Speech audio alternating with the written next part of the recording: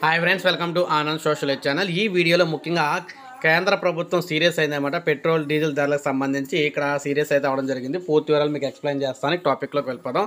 ఈ లైక్ చేయండి సబ్స్క్రైబ్ చేసుకోకపోతే మన ఛానల్ సబ్స్క్రైబ్ చేసుకోండి. పెట్రోల్ డీజిల్ పై సుంకం తగ్గించిన ఆదాయానికి డోకా లేదు. మీరు చూసుకున్నట్లయితే నికర ప్రత్యక్ష పన్ను వసూళ్ళు అక్టోబర్ నాటికి ఆరు లక్షల కోట్లు చేరినట్లు కేంద్ర రెవెన్యూ శాఖ తెలియజేసిందనమాట నెలసరి సగటు జీఎస్టీ వసూలు ఈ ఆర్థిక సంవత్సరంలో ఒకటి పాయింట్ పదిహేను లక్షల కోట్లు నమోదైందని తెలియజేశారు. అయితే ముఖ్యంగా ఈ ఆర్థిక సంవత్సరం పన్ను వసూలుకు సంబంధించి డోకా లేదు కాబట్టి ఇక్కడ ఏం చెప్తున్నారంటే పెట్రోల్ డీజిల్ పెట్రోల్ డీజిల్ ఏదైతే ఉందో ఇక్కడ మీరు చూడొచ్చు పెట్రోల్ డీజిల్.